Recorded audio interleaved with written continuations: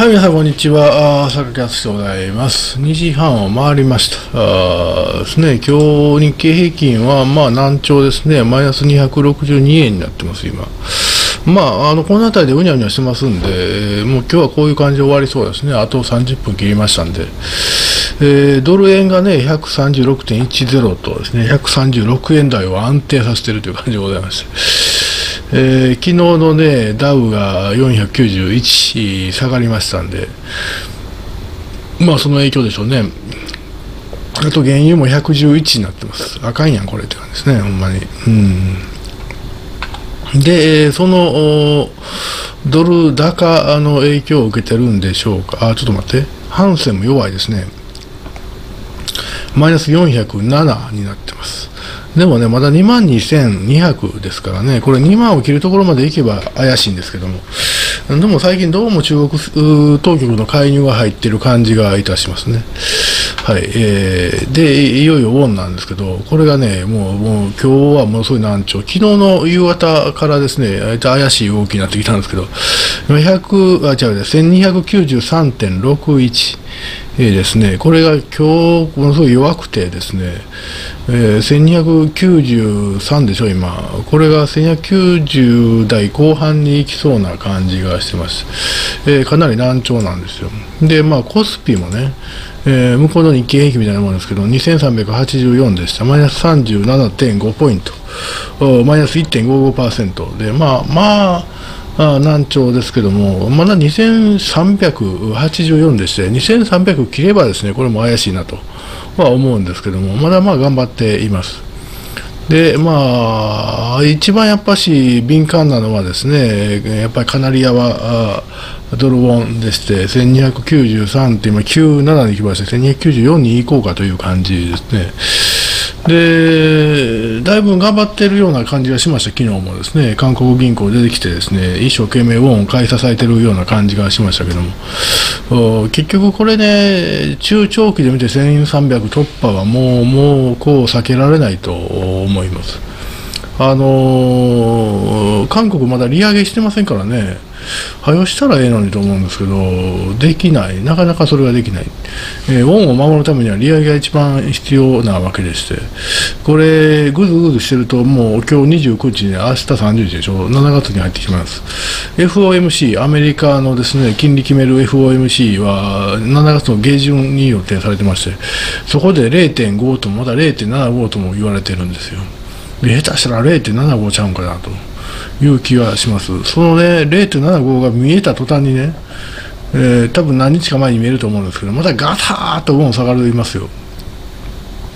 その時には1350とかいくんちゃうかなと、今は1294まで来ましたね。えーそのね、1350とかね、1400とかいったらもう、もう、もう、もう、もう、もう、もうやばいですよ。うん、だから、今のうち利上げをすべきなんですね。で、まあ、緊急会合を開いてね、利上げをすればいいんですけど、そこになかなか逃げ切らんようですね、今。あの、利上げをしますとね、やっぱり国内持たないんですよ、経済が。あの、もうすでに住宅価格下がるところは下がってると言われてます、韓国で。日本はまだね、下がってるなんていう現象は見えませんけども、お隣さんではすでに一部下落現象が見られています。えーで、住宅価格が下がるとね、住宅ローンを組んでる人が困るというところもありますし、えー利上げをするとね、お隣さんって借金体質で、もう上から下まで借金して、えー若い人は借金をして、それでビットコイン買うたりしてるわけですね。ビットコインやったら、やったらですけど、ナムとかあの破産したビットコイン、あ仮想通貨を買っている人もいっぱいいてですね、ちょっとね、国内経済怪しいんですよ。だから、あの、おいそれとは利上げできない状況だと思うんですけども、これはしかし、ちょちょ結構苦しいんちゃうんかなと思いますね。日本はへえ、140円なんのしややんって、また私もそうですけど、いや、嫌ですね、そのね、と、この前スパゲッティを買いに行ったらね、昔はあれ 500g の袋が60円ぐらいで売ってたら110円になってるやんと思って、高っと思って。あの河内屋っていうのがございましてね、あのあの葛西駅前にある、あそこにでね、昔よくスパゲッティを買ったんですよ、トルコ製とか安いんですよ。で、安いものはね、あの500ミリトルのこれくらいのこう袋が入ってます。60円とか90円で売ってたような気がするんですけど、この前行ったら一番安いので110円とかだったんですえ？もう値上げになってるやんと思って。まあ、一番は円安でしょうね。うわ、あかんやん、これ、と思いながら買いましたけどね、買わざるを得へんやん。そう。僕みたいな庶民はですねそうやってですね物価高にあえいでるわけですね、えー、でもまだ日本全体はですね、まあ、しゃあないやんって、その60円が110円なんて買えないということないですからね、プラス50円やんという感じで、買えなくはないんで買いますけどもですね、あの、お隣さんの場合は、こう、え借金の返済が、こう、かなりきついわけですね。でそこへこう物価高が来てるわけであって、えー、ちょっと庶民レベルでですねいわゆる日本でいうところの個人破産みたいなのが激増するんちゃうかと言われてます、えー、ですのでおいそれとは利上げできない。利上げできないけども利上げしないとウォンが安くなる。というジレンマに陥ってまして。あのーあんまりそう不況とかあのインフレが進んだりとかですねこう不況感が際立っていくと今度はユン・ソンニョルさんのですね政権への支持率が下がっていきます。はっきり言って俺ユン・ソンヨル悪くないと思うんですよな何もヘマはしてないと思うんですよただ外部環境でですねえー、どんどんどんどん追い込まれているということでして、ユン・ソンニョルさんはささらに悪いことしてないのに、ムン・ジェイン政権が残したですね最低賃金の上昇とかですね、えー、組合を甘やかしすぎたとか、あとは外交ではですね中国にすり寄ってアメリカからプンってやられてるとかですね、いろいろな状況、全部あのムン・ジェインの負の遺産。負の遺産とあとは外部環境ですねによってユン・ソンニョルさん非常に難しい政権運営を今迫られてるわけですね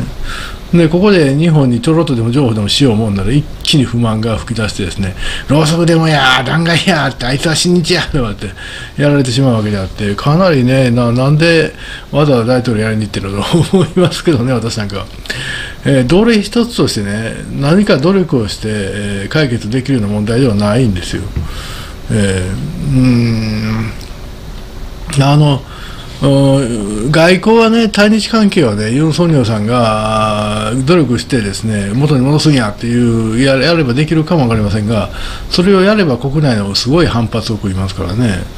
えー、だからそれも動きにくいわけであって、もう、こう、やることがないって、やることがない世界に、ムン・ジェインが悪いことしよった世界で捕まえに行こうと、そっちに走るんちゃうかなと。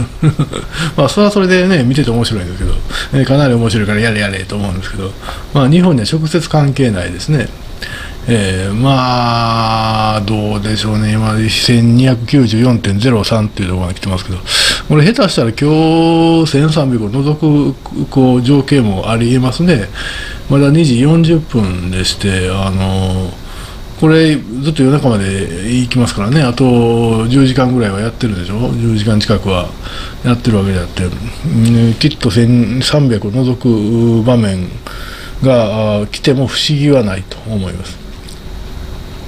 別に1300来たところでね、それでどうのっていうわけでもないです。一つの目安なんですね。で、どんどんどんどんウォンが安くなるということはですね、あいや1294.4まで来ましたね。え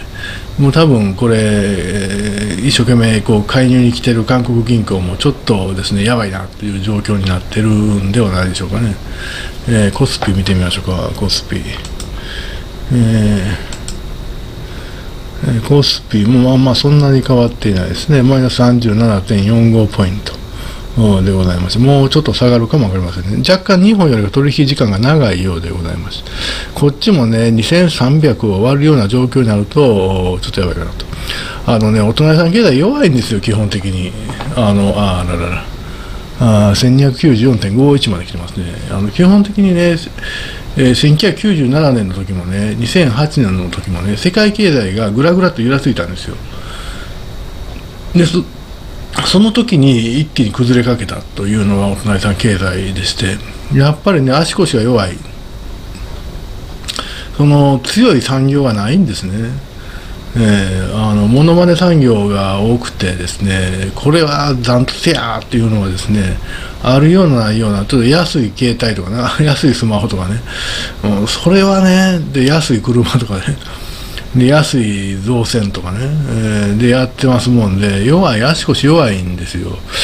足腰弱いから世界経済がちょっとですねくしゃみでもするとですね一気にこう飛ばされかねないというところがあございまして。でそれが今現れてるのではないかなと思いますね、えー、今日中に1300を除く可能性もありますというお話でございました。はい皆さんどうもありがとうございます。